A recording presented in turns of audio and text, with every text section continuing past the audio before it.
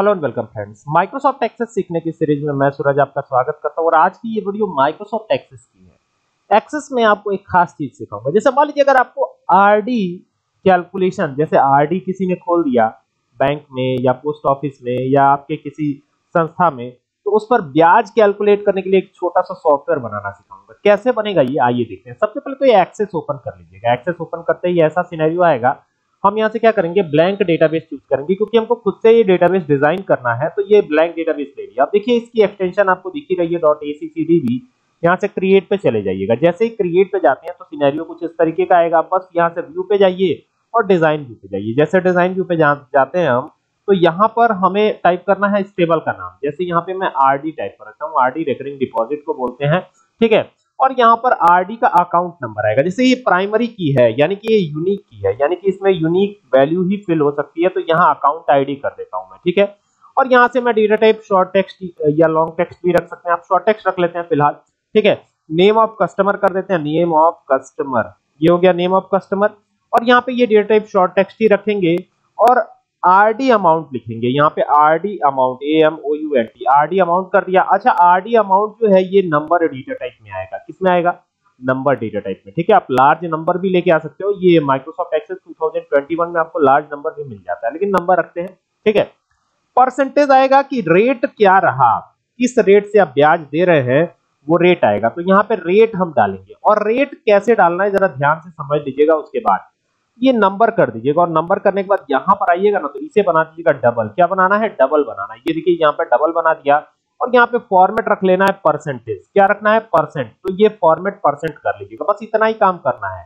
ठीक है, मैं फिर से रिपीट कर देता हूँ। यहाँ पर इसे डबल बना लीजिएगा और यहाँ पे फॉर्मेट क्या करिएगा? परसेंट रख लीजिएगा। और यहाँ पर तो आपको पता है नंबर डेटा टाइप रखना है। ठीक है? अब इतना काम हो गया। हमें नंबर ऑफ़ पीरियड भी लेना है। यानी एनपीईआर जिसे आप कहते हैं नंबर ऑफ़ पीरियड वो लेना है। तो नंबर ऑफ़ पीरियड एक रहेगा, दो रहेगा, तीन रहेगा। तो कितने दिनों के लिए रेकरिंग डिपॉजिट किया गया है, वो चीज़ यहाँ पे आएगी। तो यहाँ पे नंबर कर देते हैं। नंबर करने से हमारा काम हो जाएगा, लेकिन चूँकि कभी कभी डेढ़ साल में भी पैसे निकाल लिए जाते हैं तो उसके लिए यहाँ पे इसे डबल बनाना ज़रूरी। तो पॉइंट में लिखे इसीलिए डबल बनाना ज़रूरी। और कितना अच्छा आरडी अमाउंट तो हमने दे ही दिया है। यहाँ पे आरडी अमाउंट दे दिया कितने रुपए की आरडी खोली है वो तो हमने दे ही दिया है। और रेट हमने दे ही दिया है और नंबर ऑफ़ पीरियड हमने दे ही दिया ठीक है? अब यहाँ पर मेच्योरिटी देते हैं maturity amount A M O U N T ये हो गया मेच्योरिटी अमाउंट ठीक है ना? यहाँ पे डेट भी लेके आ सकते हैं आप कि किस डेट पे ये आ, आ, ये खाता खुला था ये डेट भी आप लेके आ सकते हैं। ये भी लेके आना आसान है। यहाँ पे मैं क्या करता हूँ मेच्योरिटी अमाउंट को मैं बनाऊँगा यहाँ से लुक कैलकुलेटेड करेंगे कैलकुलेटेड डेटा टाइप ठीक है?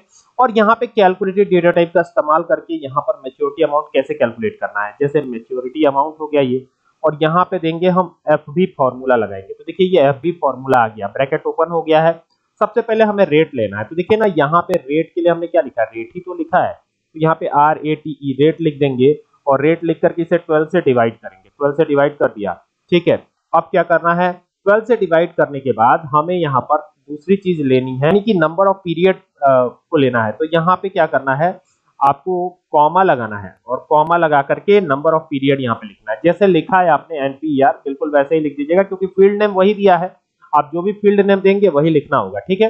तो स्क्वायर ब्रैकेट को क्लोज करके फिर कॉमा लगा दीजिए, कॉमा लगा दिया। कॉमा लगाने के बाद आपको क्या करना है? वो आरडी अमाउंट लेके आना है। तो आरडी अमाउंट के लिए यहाँ पे हम प्रेस करेंगे आर फिर डी और फिर अमाउंट लिख देंगे। जैसे लिखा गया बिल्कुल वैसे ही आरडी अमाउंट आपको लिख देना है। तो जैसे लिखा गया, वैसे मैंने लिख दिया आरडी अमाउंट हो गया?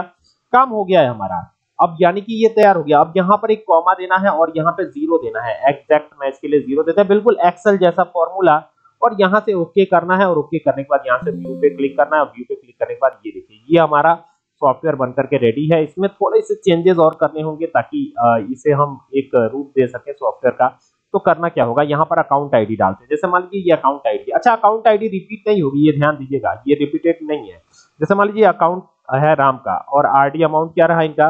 इन्होंने पाँच सौ रुपए महीने का एक खाता खोला, ठीक है? ध्यान दीजिएगा, पाँच सौ रुपए महीने का खाता खोला।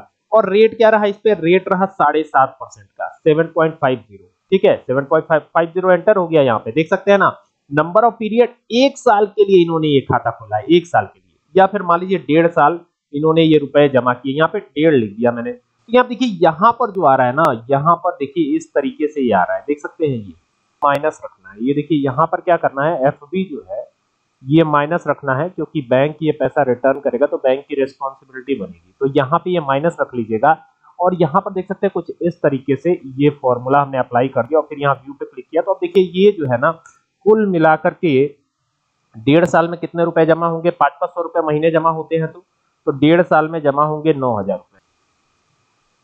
तो ये इस तरीके से ये बन जाएगा। अब देखिए, यहाँ से क्रिएट पे जाना है, फिर यहाँ से जाना है फॉर्म विज़िट पे जाना है और यहाँ पे सीधा हमें क्या करना है? यहाँ पे ये सारी चीज़ें लेकर के, यहाँ पे नेक्स्ट यहाँ डेटा सीट व्यू टेबुलर जैसा भी आप करना चाहते हो, ये करके आगे बढ़िएगा और यहाँ पर इस तरीके से कर दीजिएगा। तो ये इस तरीके से आ जाएगा। इसको सेटिंग कर सकते हैं आप यहाँ से जा करके। छोटा बड़ा करना हो तो यहाँ से कर सकते हैं। हम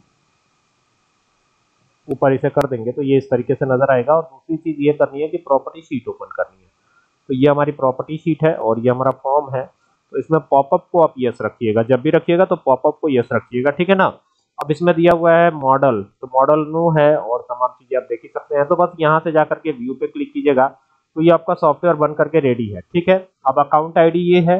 अगर आप अकाउंट आईडी अलग डालना चाहते हैं तो यहाँ पे डाल सकते हैं, ठीक है? अब इसको मैं सेव करता हूँ। अब देखिए, यहाँ पर अकाउंट आईडी अलग डालता हूँ। जैसे मान लीजिए ये अकाउंट आईडी हो गई। ये हो गया, ये अलग अकाउंट आईडी हो गया। अब यहाँ पे श्याम करता हूँ कस्टमर का नाम।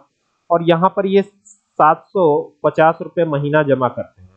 तो इनको जो ब्याज मिलेगा, जैसे मान लीजिए सात परसेंट के हिसाब से कैलकुलेट करना हो, ठीक है? तो सात परसेंट के हिसाब से कैलकुलेट करना रहेगा, तब भी ऐसे ही कैलकुलेट हो जाएगा, ठीक है ना?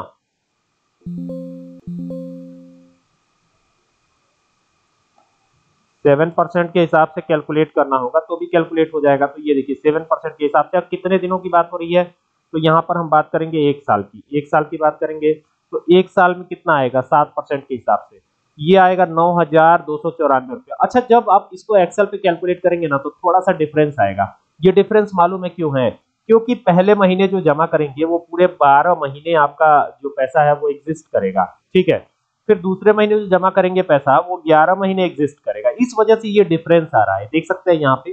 तो ये जो है इस तरीके से बन जाएगा और जब यहाँ पर आएँगे ना तो ये देखिए, यहाँ पर भी ये अपडेट हो जाएगा। अब यहाँ पर जाएँगे ये दूसरा भी अपडेट नहीं दिखा रहा है तो हम क्या करेंगे, इसको क्लोज करेंगे या यहाँ से रिफ्रेश कर देंगे। एक बार रिफ्रेश कर देंगे तो ये अपडेट हो जाएगा इसमें भी।